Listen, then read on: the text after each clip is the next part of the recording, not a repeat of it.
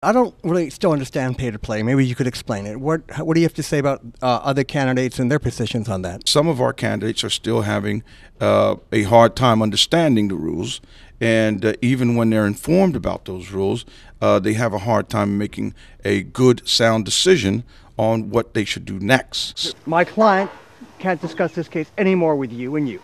Client?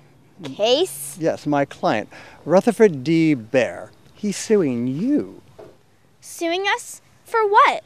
Why? because he can. Ultimately, he, you lack the requisite IT skills. I'm sorry.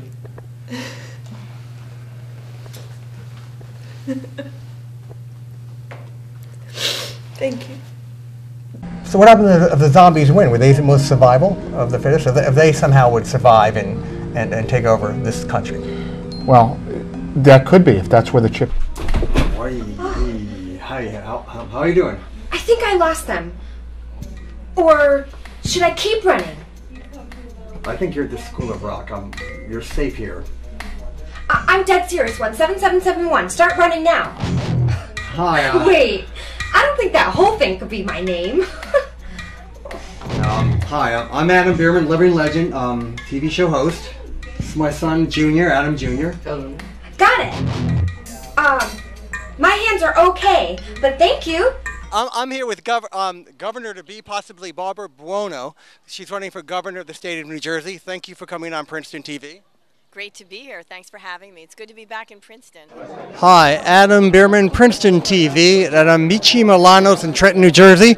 We're honored to be talking to Walker Worthy. He's running for mayor of Trenton, New Jersey. Criticisms of uh, President Obama. Do you think that would, and since a lot of people listen to you, you think that's going to hurt his reelection? I mean, I've had, I've heard some of my friends who like Obama still say that you're kind of like a Ralph Nader.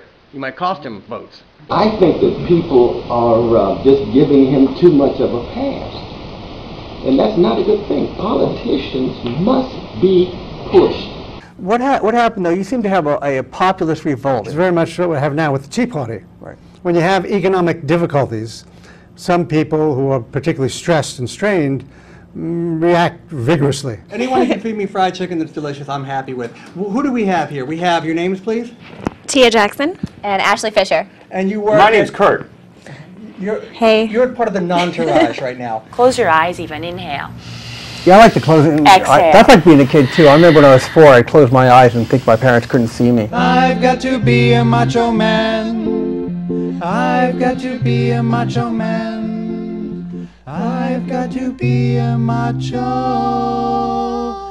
man.